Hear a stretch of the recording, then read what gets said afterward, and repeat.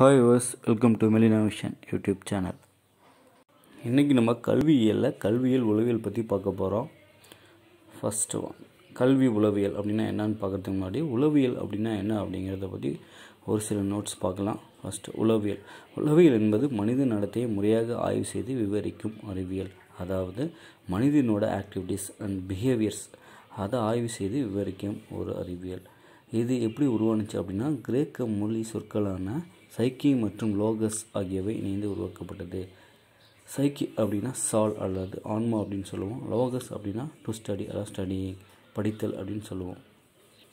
So இதில் இந்த ஆன்மா இந்த சாலை பற்றி பல்வேறு வகையான மதங்களில் பல்வேறு வகையான நம்பிக்கைகள் இருக்குது ஸோ இதையும் வந்து இந்த உளவியலை பற்றி சொல்லியிருக்காங்க. இந்த ஆன்மா அப்படிங்கிறது நம்ம என்ன சொல்கிறோம் அப்படின்னா மனது தான் நம்ம ஆன்மா அப்படின்னு சொல்லுவோம். இந்த மனசை பற்றி பல்வேறு ஆய்வுகள் இன்றும் நடைபெற்று கொண்டு தான் உள்ளன. உளவியல் என்பது ஆன்மாவின் அறிவியல் அப்படின்னு யார் சொல்கிறாங்க அப்படின்னா பிளாட்டாவும் அவரோட சிசியராக இருந்த அரிஸ்டாட்டில்னு சொல்கிறாங்க அப்போது இந்த உளவியல் வந்து இப்போ தான் உருவானது அப்படின்னு சொல்ல முடியாது. உளவியலை பற்றி அரிஸ்டாட்டில் பிளாட்டோ அதாவது கிமுவிலிருந்தே இதை பற்றி பல்வேறு ஆரா ஆராய்ச்சிகள் நடைபெற்று கொண்டு தான் உள்ளன. உளவியல் என்பது மனிதனின் நடத்தை பற்றிய அறிவியல் அப்படின்னு யார் சொல்கிறாங்க அப்படின்னா வில்லியம் மக்டுகல் அப்படின்னு சொல்கிறார் அதாவது பிஹேவியர் அதை சொல்கிறார் உளவியல் மனிதனின் ஆக்டிவிட்டி அப்படின்னு சொல்லி ஆக்டிவிட்டி பேஸ் பண்ண ஒரு விஷயம் அப்படின்னு சொல்கிறார் அடுத்தது உளவில் ஒரு நனவு நிலை அதாவது கான்சியஸ் ஏஜ் அப்படின்னு வில்லியம் ஓண்ட் சொல்கிறார் William James and William Wundt அடுத்தது உளவில் என்பது மனிதனின் நடத்தை மனித உறவுகள் பற்றி படிப்பதாகும் அப்படின்னு யார் சொல்கிறாங்க அப்படின்னா Lester Crow and Alice Crow. இவங்க தான் என்ன சொல்லுவாங்க? க்ரோ க்ரோ அப்படின்னு சொல்லுவாங்க.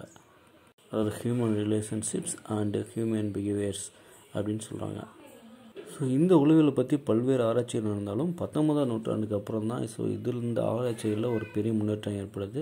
ஸோ அது என்ன அப்படின்னு பார்க்கலாம். ஆயிரத்தி எட்நூற்றி ரெண்டாம் ஆண்டு பிரெஞ்சு உளவியலர் அதாவது கேப்பானிஸ் அப்படிங்கிறவர் என்ன பண்ணுறாரு அப்படின்னா உயிரியல் உளவியல் என்ற கட்டுரையை எழுதியிருக்காரு. ஸோ அதுக்கப்புறம் பார்த்தீங்கன்னா ஆயிரத்தி எட்நூற்றி எழுபத்தி ஒன்பதாம் ஆண்டில் வில்லியம் ஓண்ட் ஜெர்மனியில் உள்ள லீப்சிக் பல்கலைத்தில் உளவியலுக்கான ஆய்வுக்கூடத்தை நிறுவினார். அதாவது ஃபஸ்ட்டு ஃபஸ்ட்டு ஒரு லேப் ஸோ சைக்காலஜிக்காகவே ஒரு லேப் உருவாக்குனார் அப்படின்னா வில்லியம் ஹுண்டு தான். அங்கே எங்கே அப்படின்னா ஜெர்மனியில்.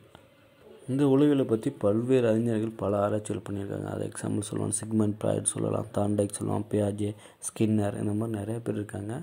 ஸோ இதில் பார்த்தீங்கன்னா தனிநபர் உளவியல் அப்படின்னு ஆல்பர்ட் ஆட்லர் அப்படிங்கிற ஒரு சைக்காலஜிஸ்ட் சொல்லியிருக்காரு. அதாவது இண்டிவிஜுவல் சைக்காலஜி பற்றி அவர் வந்து ஒரு பெரிய புக்கு ஒன்று எழுதியிருக்காரு. அதுக்கப்புறம் பார்த்தீங்கன்னா பகுப்புளவியல் அப்படிங்கிறது வில்லியம் யூங் அப்படின்னு சொல்லியிருக்காரு. அதாவது அனலிட்டிக்கல் சைக்காலஜி அதுக்கடுத்தது மனிதநேய உளவியல் Carl Rogers and Maslow. Carl Rogers பார்த்திங்கன்னா ஒரு அமெரிக்க நாட்டை சேர்ந்த ஒரு உளவியலாளர். இவர் என்ன சொல்லியிருக்காரு அப்படின்னா ஹியூமனிஸ்டிக் அப்ரோச் இன் சைக்காலஜி அப்படிங்கிற ஒரு பெரிய ஒரு ஆராய்ச்சி பண்ணி அதை பற்றி சொல்லியிருக்காரு. ஸோ இவரோடு சேர்ந்து தான் மாஸ்லோவும் சொல்லியிருக்காரு. இந்த உளவியலில் பல்வேறு பிரிவு பிரிவுகள் இருக்குது ஸோ அந்த பிரிவுகள் பார்த்திங்கன்னா ஒவ்வொரு அறிஞர்களும் அந்த பிரிவுகளுக்கு ஏற்ற மாதிரி பல நூல்களையும் பல கட்டுரைகளையும் பல ஆராய்ச்சிகளையும் செய்து அதன் விளைவுகளை எழுதியிருக்காங்க. இந்த உளவியலின் ஒரு பிரிவு தான் நம்ம என்ன சொல்லணும் அப்படின்னா கல்வி உளவியல். இந்த கல்வி உளவியல் அப்படின்னா என்ன அப்படின்னா மாணவர்களின் கற்றல் நடத்தையை ஆராய்ந்து அதனை திட்டமிடப்படி செயல்படுத்தி அவர்களின் ஆளுமையை மேன்மை செய்தல். ஸோ ஆளுமையை மேம்படுத்துதல் அப்படின்னா ஒன்றுல அவனோட பர்சனாலிட்டியை டெவலப் பண்ணுறது அதாவது ஒரு பண்படுத்துதல் அப்படின்னு சொல்லுவாங்க.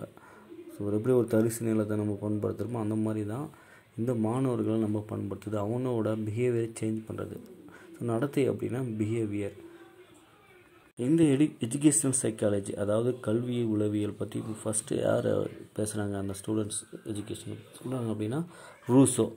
ஸோ அவர் தான் ஃபஸ்ட்டு இதுக்காக ஒரு குரல் கொடுக்குறாரு. ஸோ அதுக்கடுத்து பார்த்திங்கன்னா நம்ம நவீன ஒளிகள் தந்தைன்னு சிக்மெண்ட் பாய்ட் சொல்கிறேன் அப்படின்னா நம்ம சைக்காலஜியை பொறுத்த வரைக்கும் சிக்மெண்ட் பாய்டோட ஆராய்ச்சிகள் தான் அதிக அளவில் இடம்பெற்றிருக்கு அதனால தான் அவரை நவீன உளவியலின் தந்தை அப்படின்னு சொல்லுவாங்க. அப்போ நமக்கு ஒரு கொஸ்டின் வரும். அப்போ உளவியலின் தந்தை யார் அப்படின்னா ஸோ உளவியலின் தந்தை யார் அப்படின்னா வில்லியம் உண்டு. அவங்கள தான் சம் இப்போ உளவியலின் தந்தை அப்படின்னு கூப்பிட்றாங்க. ஸோ இப்போ இந்த கல்வி உளவியலை பற்றி ஸ்கின்னர் என்ன சொல்கிறாரு அப்படின்னா கல்வி உளவியல் கல்வியுடன் நடத்தை மற்றும் ஆளுமை திறனை உள்ளடக்கியது. அதாவது பிஹேவியர் அண்டு பர்சனாலிட்டி ஸோ இது ரெண்டும் சேர்ந்தது தான் கல்வி உளவியல் அப்படின்னு சொல்கிறாரு அடுத்தது இந்த கல்வி உளவியலின் குறிக்கோள்கள் என்ன அப்படின்னு சொல்லுவோம் அதாவது எய்ம் ஆஃப் எஜுகேஷன் சைக்காலஜி அப்படின்னு என்னன்னு சொல்கிறோம் ஃபஸ்ட் ஒன் நடத்தையை புரிந்து கொள்ளுதல். அதாவது அண்டர்ஸ்டாண்டிங் ஆஃப் பிஹேவியர்ஸ் மாணவனின் நடத்தையை புரிந்து கொள்ளுதல். அடுத்தது நடத்தை கணித்தல். ஸோ கவனித்தல் இல்லை கணித்தல். அதாவது guessing guessing the behaviour of the student அடுத்தது நடத்தையை கட்டுப்படுத்துதல். So controlling the behaviour of the student அந்த ஸ்டூடெண்ட்டோட நடத்தை ஸோ அவனோட நடத்தை எப்படி இருக்குது ஸோ நல்லபடியாக இருக்கா? இல்லை அது வேறு வழியில் இருக்கா? அப்படின்னு கண்டுபிடிச்சி அதை கட்டுப்படுத்துது. அடுத்தது லேர்னரை பற்றி பார்க்குறோம். கற்பவர். கற்பவர் யாருன்னா நம்ம யூகேஜி அதாவது ப்ரீ பிரைமரி எஜுகேஷனில் இருந்து ஒருத்தர் பிஹெச்டி படித்தாலும் சரி இவங்க எல்லாத்தையுமே நம்ம என்ன சொல்கிறோம் அப்படின்னா கற்பவர் அப்படின்னு தான் சொல்லுவோம். லேர்னர் அப்படின்னு தான் சொல்லுவோம். இந்த கற்றலில் தனியாளு வேறுபாடு காணப்படும். இந்த லேர்னிங் ப்ராசஸில் கண்டிப்பாக இண்டிவிஜுவல் டிஃப்ரென்ஸ் இருக்கும் அப்படின்னு சொல்கிறாங்க ஸோ கண்டிப்பாக இருக்குங்க அப்படின்னா நம்ம ஒரு கிளாஸ் ரூமில் ஃபிஃப்டி ஸ்டூடெண்ட்ஸ் இருக்காங்க அப்படின்னா அந்த ஃபிஃப்டி ஸ்டூடெண்ட்ஸுக்கும் ஒரே மாதிரி தான் நம்ம டீச் பண்ணுவோம். ஒரே மெத்தட் தான் யூஸ் பண்ணுவோம். பட் அதில் பார்த்திங்கன்னா ஒரு சம் ஸ்டூடெண்ட்ஸ் பார்த்திங்கன்னா ஹண்ட்ரட் பர்சன்டேஜ் மார்க்ஸ் எடுப்பாங்க. சில பேர் பார்த்திங்கன்னா ஜீரோ கூட எடுப்பாங்க. சில பேர் பார்த்திங்கன்னா ஃபார்ட்டி எடுப்பாங்க சில பேர் சிக்ஸ்டி எடுப்பாங்க எயிட்டி ஸோ இதுதான் வந்து நம்ம இண்டிவிஜுவல் டிஃப்ரென்ஸ் அப்படின்னு சொல்லுவோம். ஏன் அப்படின்னா இந்த இண்டிவிஜுவல் டிஃப்ரென்ஸ் ஒவ்வொருத்தருக்கும் டிஃப்ரெண்ட் ஆகிட்டே தான் இருக்கும். ஸோ இந்த டிஃப்ரென்ஸ் எதனால் வருது அப்படின்னா இதுக்கு பல காரணங்கள் இருக்குது அவனோட ஹெரிடிட்டியாக இருக்கலாம். ஸோ அவரோட என் என்வரான்மெண்ட் ஃபேக்டர் இருக்கலாம். அல்லது அவரோட சிந்தனை மனநிலை. ஸோ இதெல்லாம் பேஸ் பண்ணி அவரோட கெப்பாசிட்டி ஆஃப் அண்டர்ஸ்டாண்டிங் ஸோ இதெல்லாம் தெரிஞ்சு தான் அவரோட டிஃப்ரென்ஸ் ஏற்படுது. அவருக்குள்ள ஒரு வேறுபாடுகள் ஒவ்வொருத்தருக்கும் உள்ள வேறுபாடுகள் ஏற்படுகிறது. ஸோ நம்ம எதுக்காக கல்வி கற்கிறோம்? அப்படின்னா கற்றலின் மூலமாக உலக நீதிகள் அனைத்தையும் அறிந்து அவற்றுடன் அதை நம்முடைய வாழ்க்கையில் நடைமுறைப்படுத்திக் கொள்வதற்காக இதுதான் கற்றலின் நோக்கமே தான். ஸோ உலக நீதிகள் அப்படின்னா உலக நியதிகள் அப்படின்னு கூட சொல்லலாம். ஸோ இந்த உலகத்தை பற்றி நம்ம தெரிஞ்சுக்கணும். இதுதான் கற்றலின் முக்கியமான ஒரு நோக்கம். நம்ம வேலை வாய்ப்புக்காகவோ அல்லது அறிவை வளர்ப்பதற்காகவோ அல்லது வேறு ஒரு காரணத்திற்காகவோ நம்ம கல்வியை கற்கக்கூடாது. இந்த உலகம் எப்படி இயங்கி கொண்டிருக்கு. இந்த ப்ராக்டிக்கல் லைஃப் எப்படி இருக்குது ஸோ அதுக்கேற்ற மாதிரி நம்மளோட வாழ்க்கையை நம்ம எப்படி அமைச்சிக்கலாம்? இதை பற்றியெல்லாம் தெரிஞ்சு அதை நம்மளோட வாழ்க்கையில் எப்படி இம்ப்ளிமெண்ட் பண்ணலாம்? இதுதான் வந்து கற்றலின் முக்கியமான நோக்கமாக இருக்கிறது. அதை தான் நம்ம எல்லாருமே செய்யணும். பட் யாருமே அதை செய்கிறதில்ல நம்ம படிக்கிறதுக்கும் நம்மளோட ஆக்டிவிட்டீஸ்க்குமே டிஃப்ரென்ஸ் இல்லாமல் இருக்குது ஸோ அதை நம்ம கரெக்டாக தெரிஞ்சு அதுக்கேற்ற மாதிரி நம்ம வாழ்க்கையை நடந்து கொள்ளணும். நெக்ஸ்ட்டு கற்கும் முறைகள் அதாவது லேர்னிங் ப்ராசஸ் பற்றி பார்க்க போகிறோம் கற்போரின் இயல்புகளுக்கு ஏற்ப கற்பித்தல் அமைதல் வேண்டும். நேச்சர் ஆஃப் லேர்னர் அதாவது ஒரு மாணவனின் திறன் கல்வித்திறன் எப்படி இருக்குது அப்படிங்கிறது. ஸோ அவரோட கற்றல் திறன் எப்படி இருக்குது அதுக்கேற்ற மாதிரி நம்ம அவர்களுக்கு நம்ம கற்பித்தலை அளிக்க வேண்டும். கற்றல் எவ்வாறு நிகழ்கிறது? ஸோ டீச்சர் ஒரு இன்புட் கொடுக்குறாரு அது ஸ்டூடெண்ட்டிட்ட போயிட்டு அது ஒரு அவுட்புட்டாக வரும். இதுதான் நம்ம என்னென்னு சொல்லுவோம் அப்படின்னா லேர்னிங் ஸோ இது எப்படி நிகழ்கிறது அப்படின்னு தெரிஞ்சுக்கணும். கற்றலை பாதிக்கும் காரணிகள் எவை ஸோ எது எது? Barriers of learning process so அதை நம்ம தெரிஞ்சுக்கணும். ஸோ நிறையா இருக்குது ஸோ நம்ம செல்ஃபோன்லேருந்து டிவியிலேருந்து நாய்ஸ் இது எல்லாமே பார்த்திங்கன்னா கற்றலை பாதிக்கும் காரணிகள் தான். அது இல்லாமல் மென்டாலிட்டி அந்த ஸ்டூடெண்ட்ஸோட மென்டாலிட்டி ஃபேமிலி பேக்ரவுண்டு ஸோ பேரண்ட்ஸுக்கிட்ட இருக்க ப்ராப்ளம் ஸோ இதுவும் பாதிக்கும் காரணங்கள் தான். அடுத்தது கற்றல் கொள்கைகள் தியரி ஆஃப் லேர்னிங் ஸோ அது அடுத்தது கற்றல் கோட்பாடுகள் பிரின்சிபல்ஸ் ஆஃப் லேர்னிங் ஸோ இதை நம்ம தெரிஞ்சுக்கணும். அடுத்தது இது எல்லாமே தெரிஞ்சுக்கிட்டு தான் அந்த ஸ்டூடெண்ட்ஸுக்கு நம்ம இந்த கற்பித்தலை நம்ம ஏற்படுத்துகிறோம் ஸோ இந்த learning process and teaching process நம்ம அந்த லேர்னிங் ப்ராசஸ்க்கு ஏற்ற மாதிரி நம்ம டீச்சிங்கை கொடுக்குறோம். ஸோ இது மட்டும் இல்லாமல் அவனோடது புலன் காட்சி பர்செப்ஷன் பர்செப்ஷன்னா அந்த உணர்வு நிலை அப்படின்னு சொல்லுவாங்க. அறிந்து கொள்ளுதல். அதுதான் நம்ம பர்செப்ஷன் சொல்லுவோம். அடுத்தது திங்கிங் சிந்தனை. அடுத்தது ஆராய்ந்தறிதல். அவன் என்கொயரி ஸோ ஆராய்ந்தறிதல்னால் ஒன்றும் இல்லை. ஏன் எதற்கு எப்படி எப்படின்னு கேள்வி கேட்டு ஸோ ஒவ்வொரு விஷயமும் எப்படி நடக்குது ஏன் நடக்குது இதை ஆராய்ந்து அறிதல் தான் நம்ம என்கொயரி அப்படின்னு சொல்லுவோம். இதுதான் ஆராய்ந்தறிதல். அடுத்தது நுண்ணறிவு இன்டெலிஜென்ஸ் ஸோ நு நுண்ணறிவு பற்றி சொல்லும்போது ஒரு பிரச்சனையிலோ அல்லது ஒரு சூழ்நிலையிலேருந்து நம்ம எவ்வாறு தப்பித்து கொள்ளுதல் எவ்வாறு அதை கையாளுதல் இதை தான் நம்ம நுண்ணறிவுன்னு சொல்லுவோம். சூழ்நிலைக்கு ஏற்றவாறு நம்ம எவ்வாறு தகவமைத்துக் கொள்கிறோம் இதையும் நம்ம நுண்ணறிவு அப்படின்னு தான் சொல்லுவோம். அடுத்தது நினைவிருத்தல் அதாவது மெமரி அந்த ஸ்டூடெண்ட்ஸோட கெப்பாசிட்டி ஆஃப் மெமரி ஸோ ஒவ்வொருத்தருக்குமே மெமரி வந்து டிஃப்ரெண்ட் ஆகிட்டே இருக்கும். சில பேர் பார்த்திங்கன்னா எல்லா விஷயத்தையும் ஞாபகம் வச்சுருப்பாங்க சில பேர் வந்து சில விஷயத்தை மட்டும் ஞாபகம் வச்சுருப்பாங்க சில பேருக்கு குறைந்த அளவு தான் மெமரி இருக்கும். கொஞ்ச நாள் மட்டும் தான் வச்சுருப்பாங்க. ஸோ நல்ல ஒரு தெரிஞ்ச விஷயத்தையோ பார்த்த விஷயத்தையோ கூட சீக்கிரமாக மறந்துடுவாங்க ஸோ அந்த மெமரி பவருக்கு ஏற்ற மாதிரி நம்ம அந்த ஸ்டூடெண்ட்ஸ்க்கு நம்ம நம்மளோட லேர்னிங் மெத்தட் அண்ட் டீச்சிங் மெத்தடை நம்ம சொல்லித்தரணும். நெக்ஸ்ட்டு நம்ம கற்கும் சூழ்நிலைகள் பற்றி பார்க்குறோம் அதாவது லேர்னிங் சுச்சுவேஷன்ஸ் பற்றி பார்க்குறோம் அதில் ஃபஸ்ட்டு பார்க்குறது வகுப்பறை சூழல் அதாவது கிளாஸ் ரூம் என்விரான்மெண்ட் ஸோ ஒரு மாணவனின் எதிர்காலத்தை நிர்மாணிப்பது அவனின் வகுப்பறை அப்படின்னு சொல்லுவாங்க. ஸோ இந்த வகுப்பறை சூழல் தான் ஒரு மாணவனின் கல்விக்கு மிகவும் முக்கியமானது ஒன்று. ஸோ அந்த சுச்சுவேஷன்ஸ் எப்படி இருக்குது அப்படின்னு நம்ம தெரிஞ்சு அதுக்கேற்ற மாதிரி நம்ம டீச்சிங் பண்ணணும்.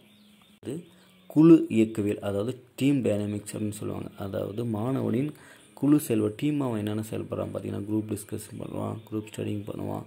ஸோ நிறையா கேம்ஸ் விளாட்றது நிறையா ஆக்டிவிட்டீஸில் பங்கெடுக்கிறது. ஸோ இது எல்லாமே இதில் வரும்.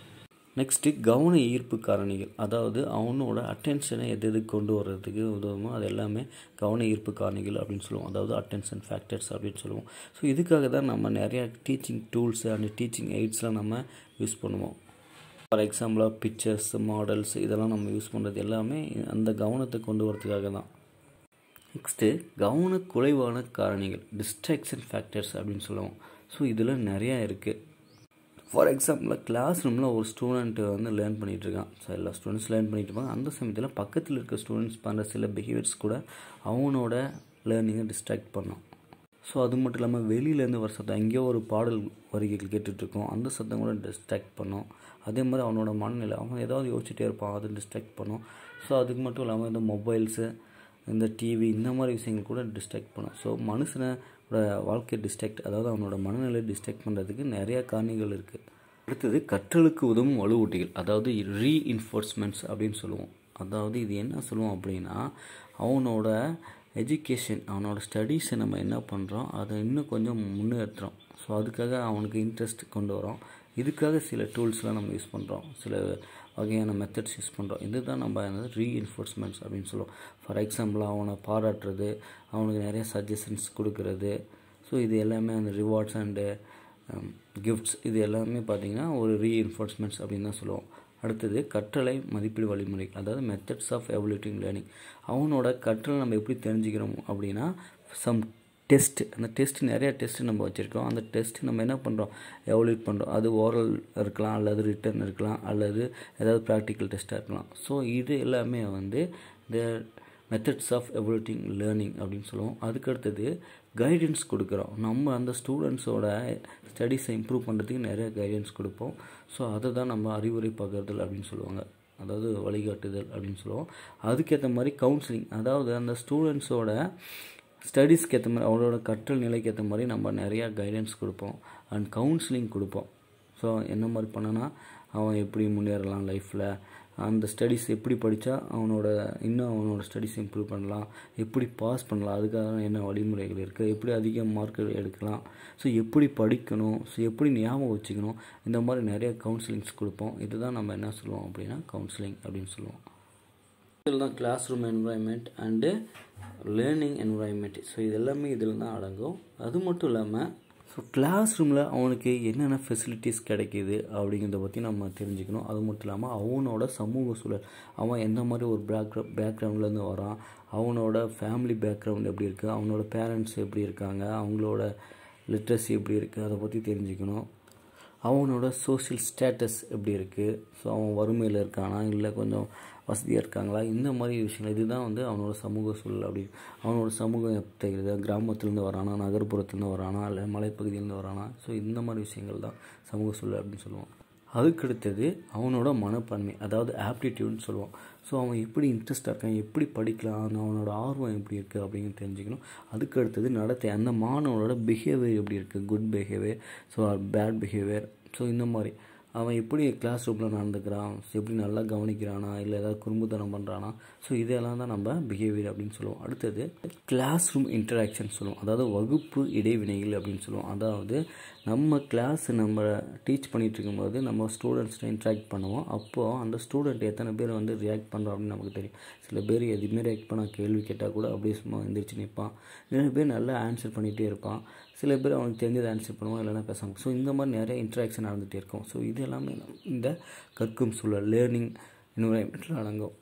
ஸோ இது எல்லாத்தையும் உள்ளடக்கிறது தான் நம்ம என்ன சொல்கிறோம் அப்படின்னா கல்வி உளவியல் அதாவது எஜுகேஷ்னல் சைக்காலஜி அப்படின்னு சொல்கிறோம் இந்த வீடியோ பிடிச்சிருந்தால் லைக் பண்ணுங்கள் கமெண்ட் பண்ணுங்கள் ஷேர் பண்ணுங்கள் மறக்காமல் சப்ஸ்கிரைப் பண்ணுங்கள் அதுக்கப்புறம் கீழே இருக்க பெல் ஐக்கானை கிளிக் பண்ணுங்கள் நம்ம போகிற ஒவ்வொரு வீடியோவோட அப்டேட்டும் உங்களுக்கு வந்துகிட்டே இருக்கும். இந்த சைக்காலஜி பொறுத்தவரைக்கும் ரொம்ப முக்கியமான ஒரு சப்ஜெக்ட்டு ஸோ இதுலேயும் பார்த்தீங்கன்னா இந்த எஜுகேஷன் சைக்காலஜி எவ்வளோ படித்தாலும் புரியவே புரியாது. அது இல்லாமல் இதில் எப்படி கொஸ்டின்ஸ் கேட்பாங்கன்னு தெரியாது. ஸோ அதுக்கேற்ற மாதிரி நீங்கள் ப்ரிப்பேர் பண்ணணும். தேங்க்ஸ் ஃபார் வாட்சிங்